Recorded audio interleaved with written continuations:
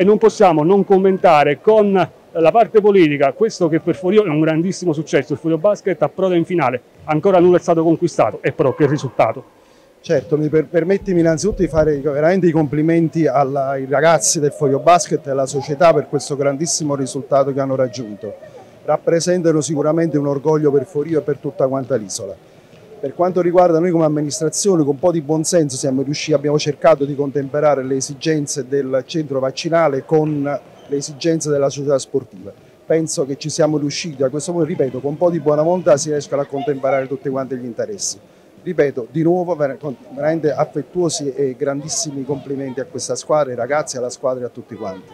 Anche se c'è ancora da combattere, però il Forio visto quest'oggi è una squadra che eh, dà fiducia, dà assolutamente sensazioni positive per, per, la finale dove poi si deciderà il tutto per tutto. Certo, l'importante è essere arrivati alla finale, quello che verrà verrà, io penso che la squadra è, ha dimostrato la sua forza e non facciamo pronostici incrociamo le dita e tutti quanti speriamo in un grande successo. Allora dottore, si è parlato a lungo di questo palazzetto, ci sono state tensioni, settimane di polemiche, è tornato il palazzetto al Furio Basket, se così posso dire in maniera un po' impropria, forse nella giornata più importante, in questa semifinale che ha condotto il Forio direttamente in quel grande sogno che è la finalissima, ovvero giocarsi la Serie B.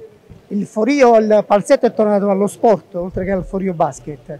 Questo dimostra la nostra disponibilità allo sport, all'apertura e al giorno. Oggi è stata una grande festa, io non voglio fare polemica assolutamente, oggi è solo la festa dello sport del Forio e della città di Forio e di un mio grande amico che risponde a nome di Vito Iacono, che ha saputo portare questa squadra a una finale di Serie B e noi siamo contentissimi come amministrazione e come cittadini di Forio di tifare per una squadra così importante e così forte. Quindi tensioni, polemiche ci sono state in passato ormai alle spalle? Non ci sono mai tensioni, io faccio il medico, come dico più volte, io non faccio il politico, faccio il medico che interessa tutto la salute delle persone. Lo sport tutela la salute delle persone. Quando abbiamo ritenuto opportuno aprire il palazzetto, prima di ogni cosa l'abbiamo fatto senza nessuna polemica, non ci sono mai state polemiche, soltanto, perlomeno nella, nella mia persona, io tutelo soltanto la, la salute delle persone.